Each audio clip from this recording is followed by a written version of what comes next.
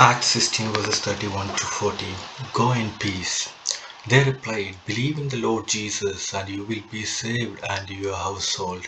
Then they spoke the word of the Lord to him and all those his house. At that four hour of the night, the jailer took them and washed their wounds. Then immediately he and all his souls were baptized. The jailer brought them into his house and set meal before them.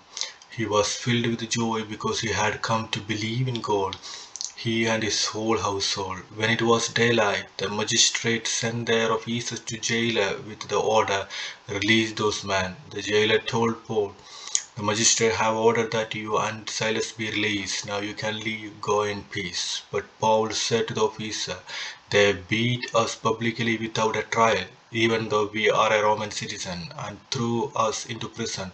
And now do they want to get rid of us quietly? No, let them come themselves and escort us out.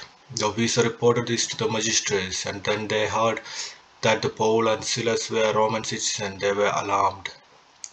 They came to appease them and escorted them from the prison, requesting them to leave the city. After the Paul and Silas came out of the prison, they went to Lydia's house, where they met the brothers and sisters to encourage them. Then they left.